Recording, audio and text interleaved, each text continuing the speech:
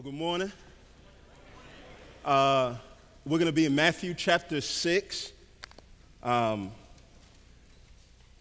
I've been tasked, like the rest of the guys, to preach for 40 minutes. And like Paul, I would say, um, I agree the commandment is good, uh, but that which I want to do, I uh, don't do. And, uh, so I ask that you would have grace on me uh, to B's quote I'm not an angel, but I look uh, and all of you look like angels.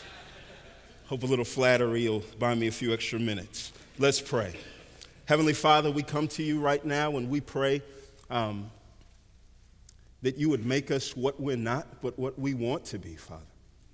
I pray that we would take a fresh drink of the peace that you provide today. It's in Jesus' name we pray. Amen. Uh, prayer is power. Prayer is power. There's at least three different responses to that, and because we're complex people, I think there's at least we sometimes can have those three different responses inside of us. As we hear that term, prayer is power, I think the first response that we can have, and it's football season, is we can throw the red flag on the field and challenge it and say, I don't really believe that prayer is power. We may not say it out loud, but functionally we say, I don't believe that it's power. We find ourselves too busy to pray. We feel like it really doesn't work. It's not even the last resort. We see it all the time when a tragedy takes place and people will post online thoughts and prayers, and somebody will come up and say they need more than just prayers. To them, prayer isn't power. That's the first response. You may not challenge it, uh, you may just be a little conflicted, it may be a cliche to you. You may say, I know it, I believe it, I would say it, uh, but that's what cliches are, right? They're things that we can relay, but they're things that we don't rely on. Here's four reasons why you may be conflicted or why may, you may not feel like prayer is power. First, you may just be too busy, like Martha, too busy providing for your physical, spiritual, and emotional well needs. You may be too burdened. You may just be in a season of life where all the wind has been knocked out of you and you just can't muster the strength to get up and pray. You may be too bitter. God may have taken something from you that makes you so angry at Him that you can't think of getting up and asking Him for anything. Or you may be too blessed. God has been too good to you without you having to ask Him for a thing. And your full stomach has caused more than indigestion, it's caused a hardened heart. The third response is that this you may be here and you may be convinced, confident that prayer is power, and so you seek to do it and you seek to do it a lot. And that's why you're here because you know that it's power and you wanted to come here and leave out here doing it more. But what I want to spend my time on here is to say to be convinced that prayer is power doesn't mean that you'll have access to the power that prayer provides. Being convinced is only half of it. You don't just have to be convinced, there's a competence that we have to have to do it the right way that the right thing done in the wrong way can be a wrong thing. Medicine doesn't heal anybody, rightly administered medicine does. Disinfectant is good for cleaning the table that you're gonna eat off of.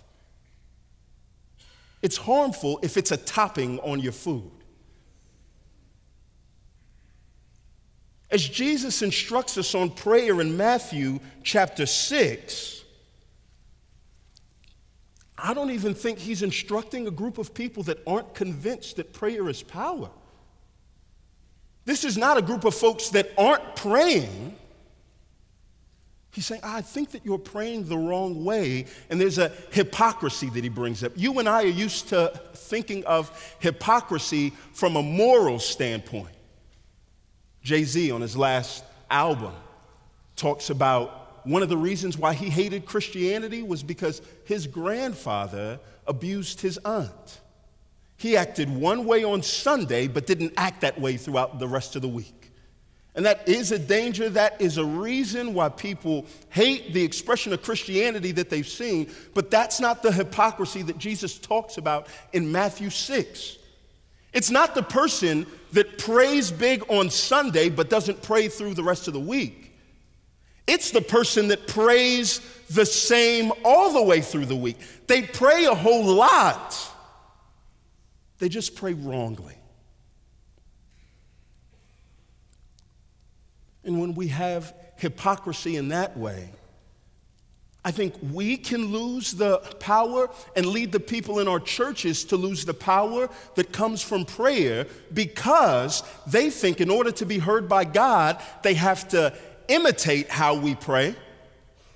He's long, eloquent, all of this stuff. I've got to do all of that stuff to be heard from God.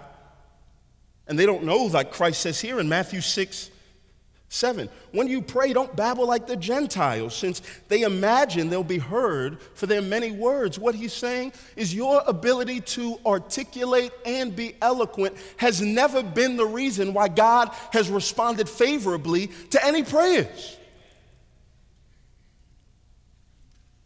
Sometimes our eloquence can do a disservice because people imitate that and think that it is in that act that they're heard by God. And so they spend their time working on the wrong things. Or impressive prayers like that can intimidate people and make them not want to pray at all. If that's what it takes to be heard by God, there's no way that I could ever pray like that. Why bother? And they don't tap into this power. And so, what Jesus does here throughout Matthew 6, uh, he talks about giving, prayer, f- fasting, and he talks about the distinct way that Christians, God's people, do it. Everybody else wants to be seen, and he makes this emphasis on secrecy. God sees you, so you don't have to be seen by the rest of them. But here with prayer, he makes his emphasis not just on secrecy, but simplicity. Everybody else makes it this big thing, but look at how plain it is. Look at how easy it is for anybody to be competent. Righteousness is not just about what you do, but how you do what you do. Success in prayer is not just I didn't pray much, and now I came here and I left, and now me and my church pray more because there's a right way to do the wrong thing. But it's no, no, no. We pray more and we pray rightly. So here's what I want to do I want to briefly try my best to explain, not to guilt anybody into prayer. And I pray that this would just lead us into applying. Matthew 6.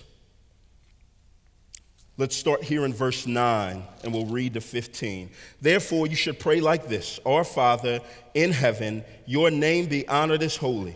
Your kingdom come, your will be done on earth as it is in heaven. Give us today our daily bread and forgive us our debts as we have also forgiven our debtors. And do not bring us into temptation but deliver us from the evil one. For if you forgive others their offenses, your heavenly Father will forgive you as well. But if you don't forgive others, your Father will not forgive your offenses. I want to split this up into two halves. The first point is this just the aim, the ambition. When it comes to prayer, the aim of prayer, the ambition, the right way to do it is to seek God's glory more and before God's gifts.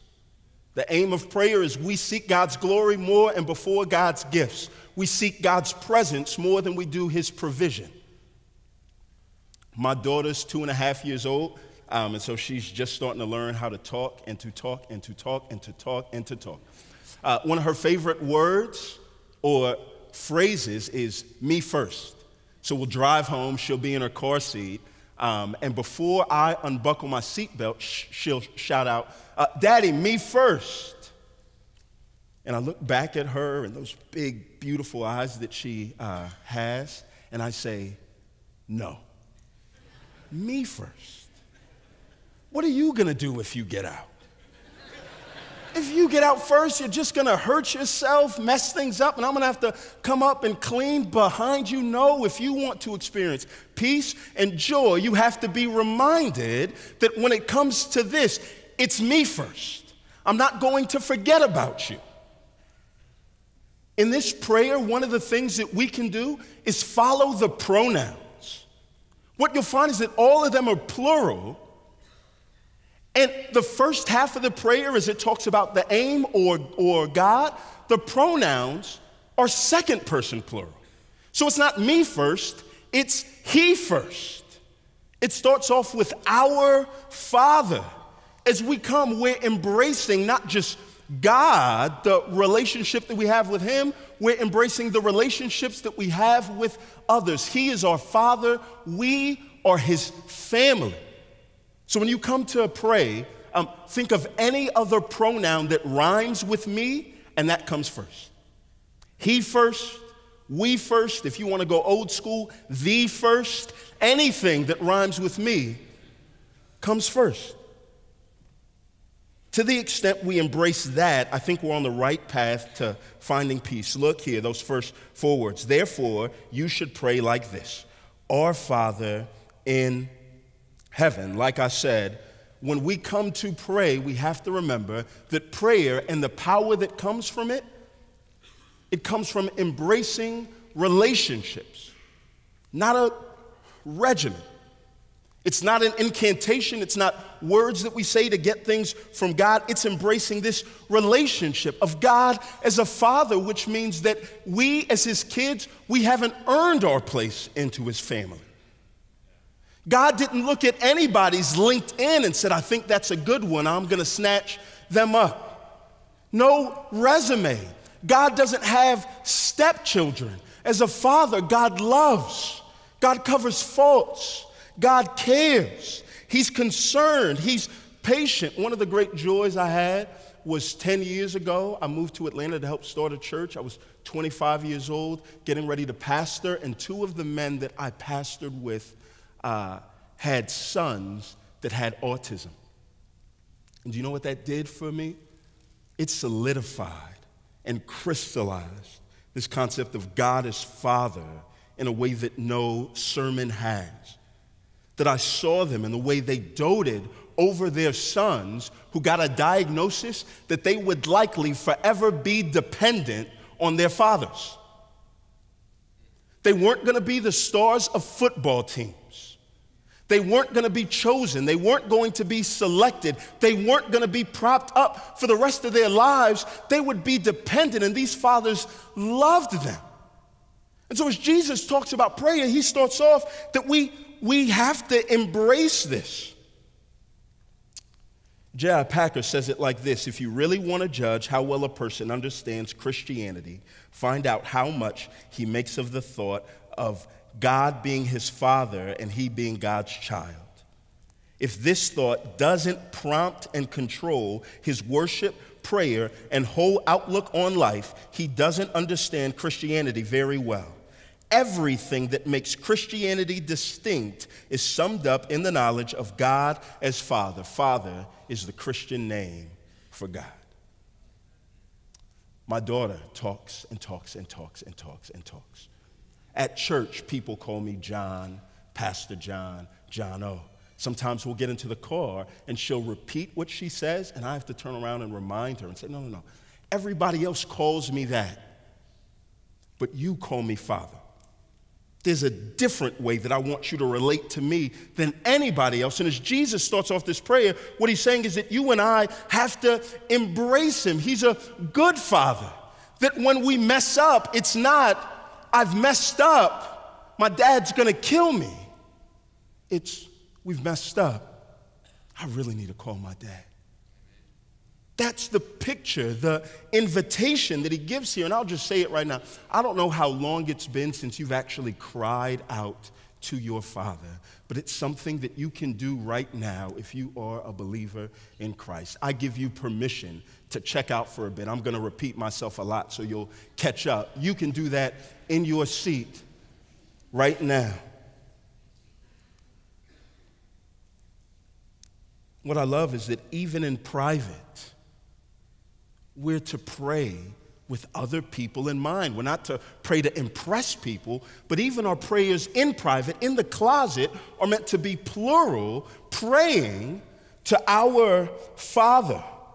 We don't just embrace this re- relationship that we have with God, we embrace the right posture. And the words go on Our Father in heaven.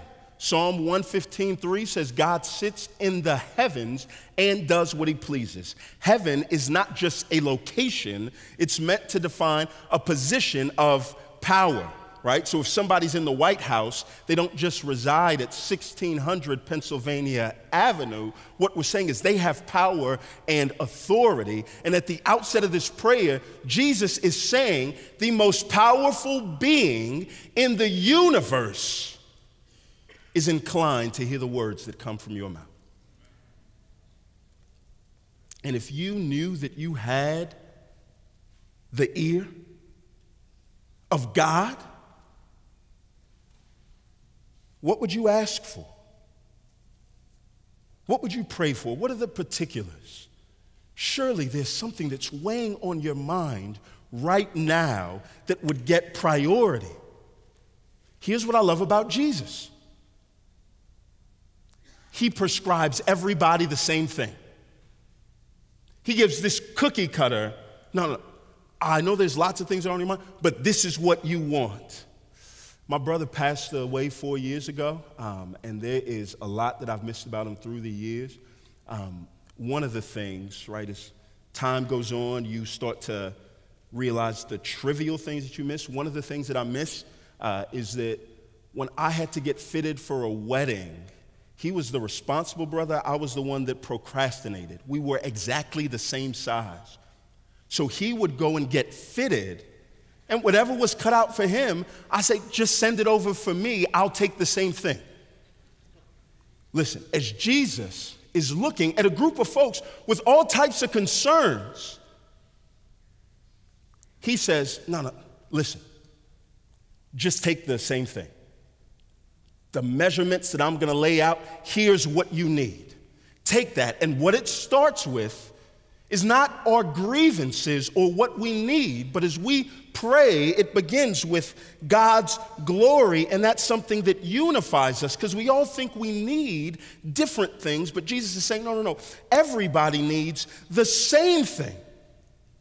Look here at verse uh, 9 and 10. Your name be honored as holy. Your kingdom come, your will be done. Follow the pronouns. What he's saying is, God, what we want is for your presence to be seen here on the earth. Your name be honored as holy. God, we want to live in a place here on earth where, as you walk in through the back door, we all do what we do at weddings and we rise for the bride. Because we know even the groom included, that that day is not about you, it's about her.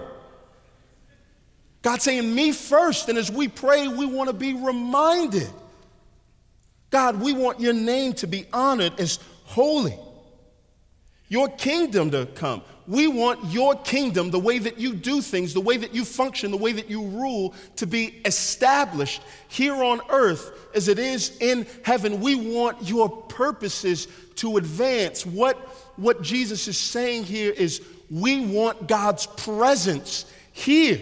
If God is our Father, we don't just want child support. We want Him present and around and here and close. What I love about this is this isn't just a directive, it's a diagnostic. I have a friend that says, John, life is overwhelming. Uh, make sure you're overwhelmed by all the right things. The question is, how often do you find yourself burdened by these things? How often does God's name not being honored in the world cause you to not want to eat or sleep because you're so weighed down? How often does God's kingdom not being seen here on the earth as it should cause you to just get into a place where you're just burdened and weighed down? How often does to make you angry and even depressed that these things haven't come to pass? Or do you read these things, hear these things, and know that you should, um, and you find yourself trying to muster up that emotion? Have you ever tried to be fake mad at something? My um, wife loves to watch these shows that I do not care about at all. So, American Idol, The Voice, and in an attempt to bond, one of the things that I do is when she gets mad that her person didn't get picked, I try to get mad. And I sit there and I'm like, ugh, I can't believe it, right? when you try to be fake mad, you use these words that you don't use, like, I'm aghast, I'm, I'm chartreuse, right? And you just say these things. But do you know what takes place? The show's done, and she's stewing in it for days. And I get up and I walk away and I don't think about it. I go about my business. And in that, we see that it's not God's absence in the world that causes the world that we live in to, to be like this. It's actually the apathy in our hearts to God's reign in the world that causes the world to be like what it is. So, these things, this is what's really wrong with the world that we live in. So, the mass shooter that killed five people in Odessa, injured 21. Do you know what was at the root of, of that? God's name wasn't honored as holy. He blurred the distinction in between the creature and creator and saw himself as somebody that had the right to determine who lives or who dies. The racial conflict that exists, what's that other than people not realizing that the way that you treat people shows what you think of their creator? The poor that are disregarded moved to the periphery of the cities that we lived in, pushed out. What's that other than some people not liking the way that God teaches us we should treat the poor in His kingdom, and we would much rather have them on the periphery to exploit them instead of caring for them? Do you see how the problems that go on in the world are not foreign to the thing that Jesus prescribes us to continually pray about.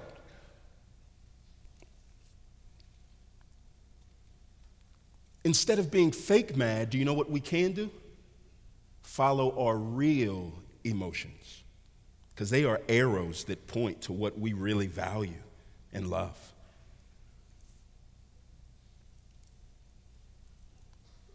How often do you find yourselves angry that your name isn't honored as holy?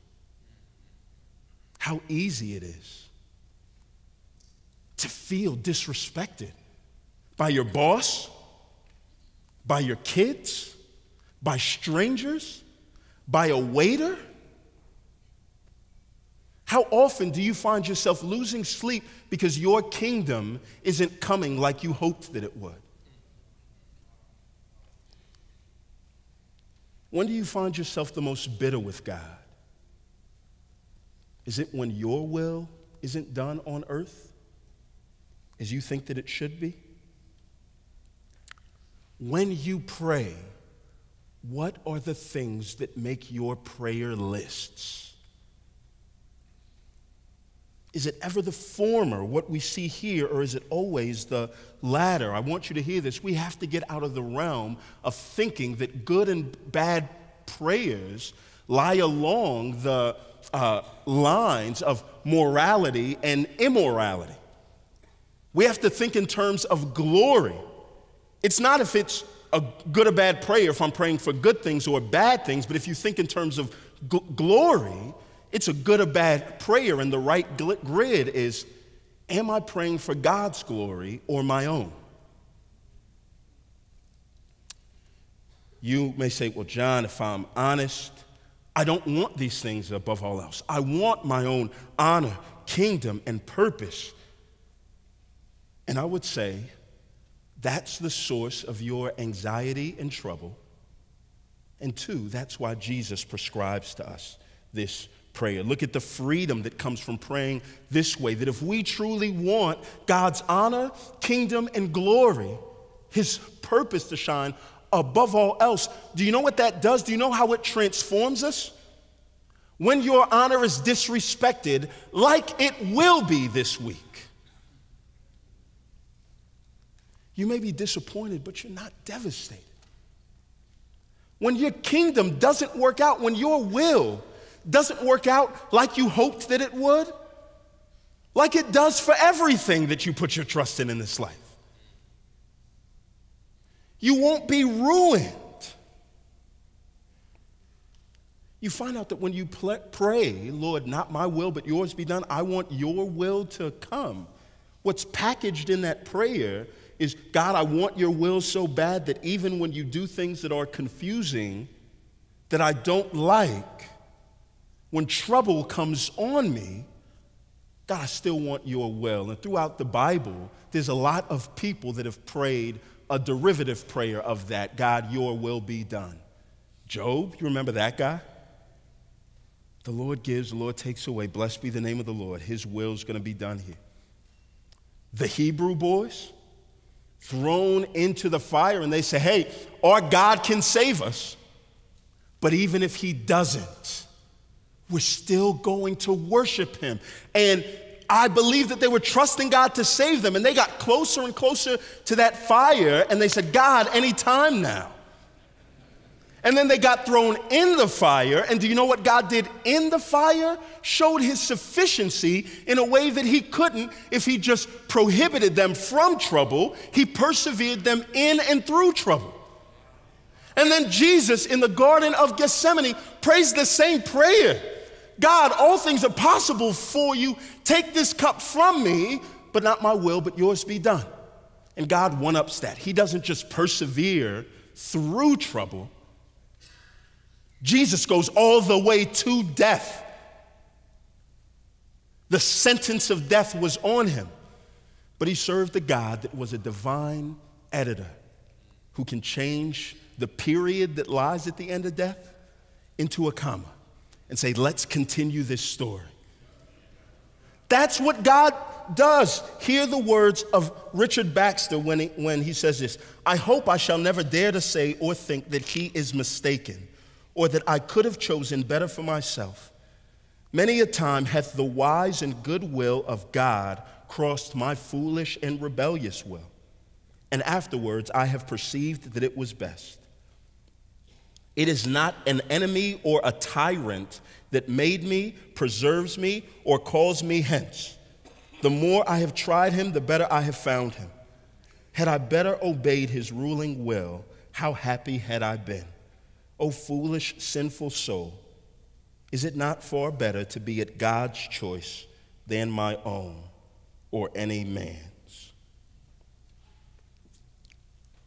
Have you ever thrown a surprise party or had somebody throw one for you?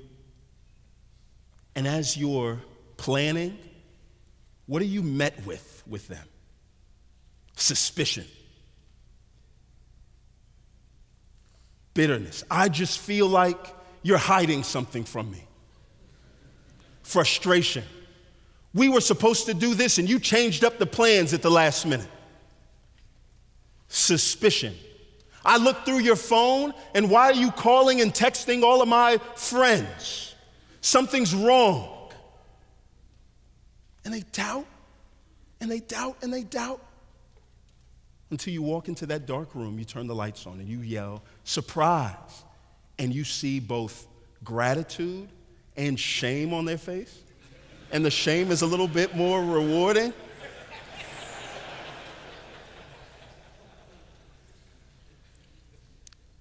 I want you to know, Christian, God is throwing a surprise party for you, as He always has been.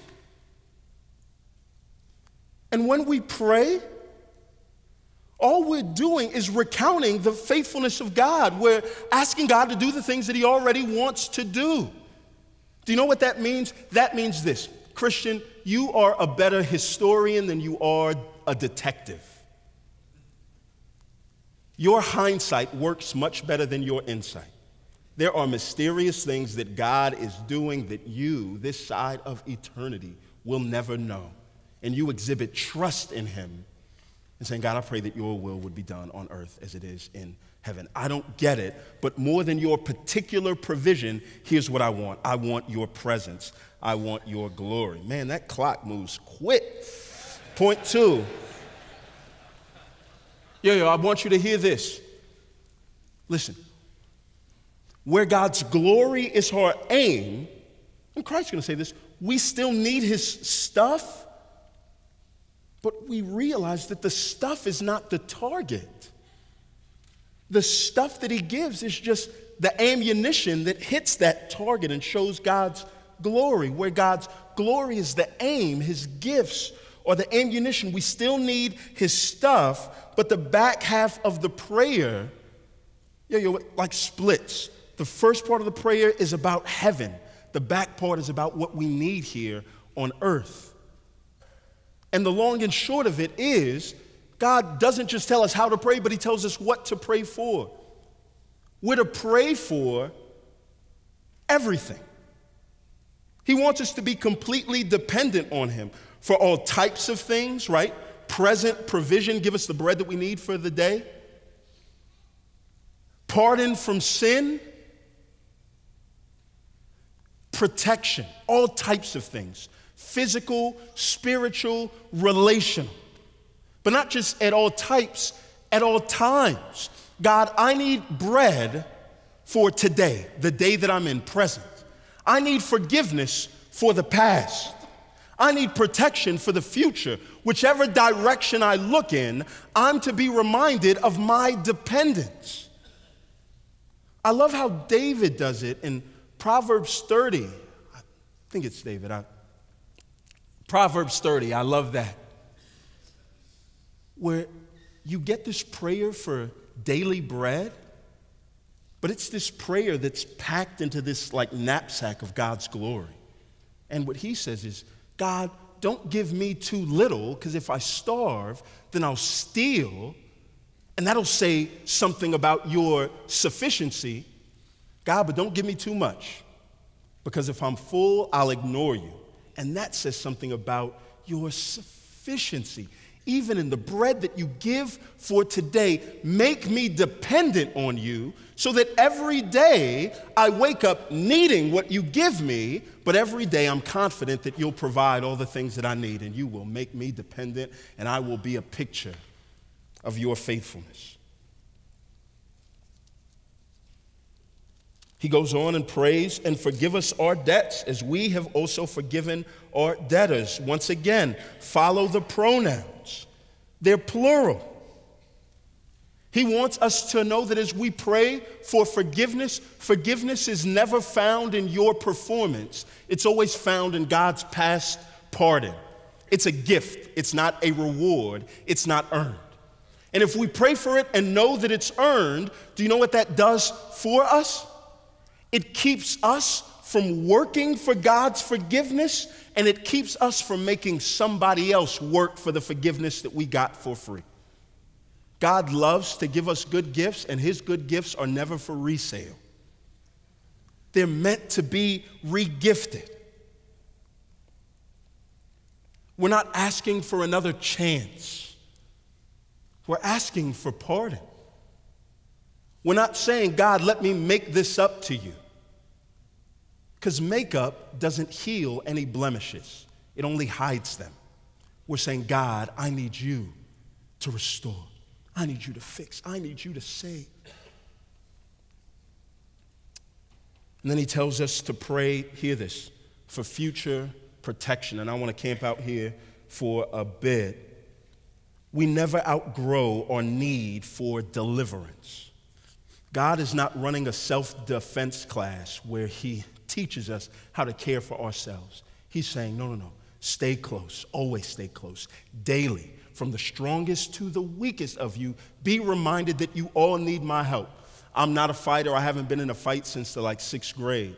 Um, in church, when I was in the fourth grade, me and my god brother got into a little bit of a tiff, and we decided that we were going to fight after church. Um, he was bigger than I was, so I thought that I was, yeah, quick with it. So we walk into the bathroom. My brothers were with me. Um, and Steven starts off, he squares up, and before I know it, I get this like left jab right in my face, and I'm knocked off. And the last words that I remember saying, not because he knocked me out, but I just said, help.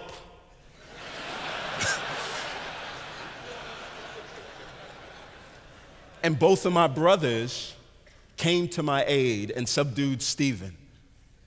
And I realized at that point, as long as I have them around, I don't have to learn how to fight. I just have to learn how to call for help as Jesus is teaching his church to be dependent against the enemy of their soul, what he's saying is look, my brothers are distant. One's with the Lord now, one is hundreds of miles away, but you have a God in Scripture that has promised never to leave you or forsake you. And so he takes care of the weakness that we feel, not by making us strong, but by mitigating the effects of weakness by providing us somebody that we can depend on. Always, at all times, so we always should. This is a prayer here that extends from God at the start to the devil at the end, from heaven to earth. And, Pastor, church leader, Christian, what I love about it is that this prayer is full of plural pronouns. Even if you pray it on your own, it's meant to be prayed.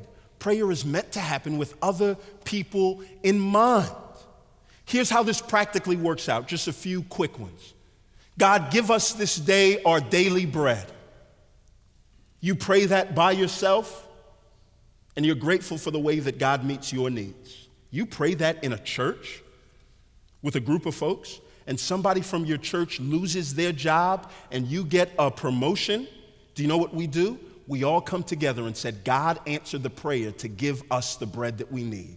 You don't have what you need. I have more than what I need. Thank you, Lord, for the way that you provide.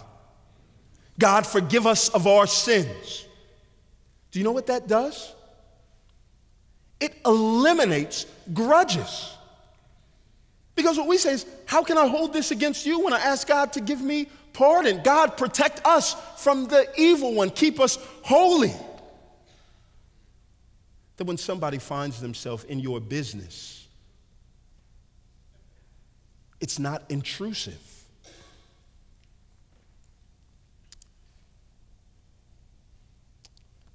praying for future protection, and I skipped this, but I really want to get this. It is a great prayer for those of us that may find ourselves here in this room addicted to something, whether that is pornography or pride or an illegal substance. As often as you pray that God would feed you for the day, to get up and to be reminded that you have the freedom to live one day at a time. You have the freedom today to pray that God would keep you and give you what you need.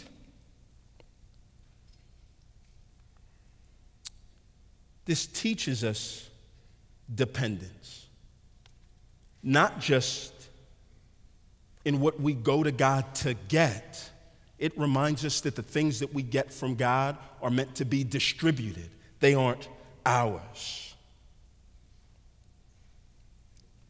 All of that is good news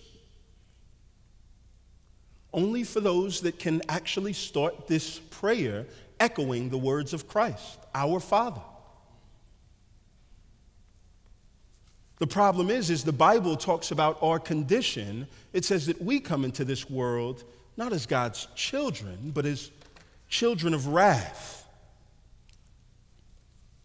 Because of Adam's first sin and our subsequent sin, heaven and earth have been ripped apart and there's been a barrier set up in the middle. We don't want God's glory. We don't get angry at the things that He does. We want our kingdom and He wants His. So, do you know what this good God does? He sends His Son into the world. And you look at the life of Christ, and what you see is He is burdened by the things that God is burdened by. He's not offended by his honor being slighted. Matthew 9. He looks and he weeps because he sees sheep with no shepherd. So in Mark, do you know what he does? In the triumphal entry, he storms into the city on a, or, or he comes into the city on a donkey, but he doesn't storm the castle. He goes to the temple. In Luke, he's weeping over this city. In John, he's in the temple turning over tables. And he finds himself with a group of people that are oppressed by a worldly power and they're awaiting somebody to bring a kingdom like the one that they want and not like the one that God had in mind. So much so that when Jesus tells them what God had in mind, they're disappointed, frustrated, and offended. They want his gifts. We want his gifts, but we don't want his glory, not his presence, not his rule. So I just want to walk you through some of the prayers that Jesus prayed in the last week of his life, the thing that all of your gospels devote at least a third of their words to. John chapter 17, verse 1, you talk about one that longs for God's glory. Jesus spoke these things, looked up to heaven, and said, Father, the hour has come. In John, that refers to the crucifixion. The time has come for me to submit to your will and to die. For those that you want to make yours, look, glorify your son so that the son may glorify you. Jesus' chief concern was God's glory. Mark 14, Abba, Father, all things are possible for you. Take this cup away from me. Nevertheless, not what I will, but what you will. God, I want your will to be done on earth as it is in heaven. Luke 23. Right? Jesus is practicing what he preached, but in this case, he can't practice what he preached. He tells us to pray that God would forgive us our sins as we have forgiven others. On the cross, he says, Father, forgive them, for they don't know what to do. He didn't have any sins to ask for forgiveness for. So he just asked that God would forgive them. And then in Matthew 27 46, about three in the afternoon, Jesus cried out with a loud voice, My God, my God, why have you forsaken me, your son, that lived this life, longing for your glory more than your graces and your gifts? My God, my God, why have you forsaken me? And then on in verse 50, it says this But Jesus cried out again with a loud voice and gave up his spirit. And hear this suddenly, the curtain of the sanctuary was torn in two. The representative barrier between God and man, heaven and earth, was completely undone by what Christ has done so that now, for all of us to put our trust in what He's done for us, the words of this prayer, they mean something. We don't just parrot them, but they are our paradigm and our pattern and what we use. And we're reminded that we can say these words and mean them. Our Father, we have been adopted into His family. One of the things that I learned about adoption is in the state of Georgia, um, your kids that were born to you, you can write them out of your will. Your adopted children, you can never write them out of your will. Once they are brought in, their position is permanently fixed. What Jesus did on the cross, he, per- he has permanently fixed your position. And you have power in being able to access God. His ear is inclined to you. You have this amazing gift. The barrier that your sin erected, his sacrifice has torn down once and for all. And he's provided you and I and our churches with this amazing gift to recalibrate our hearts and to remind ourselves of his goodness daily. Your prayers are about the strength of your relationship, not your regimen. And that relationship has been securely fixed because of Jesus' performance, not yours. You have a gift. Hear this. Use it while you can. Here's what I mean by that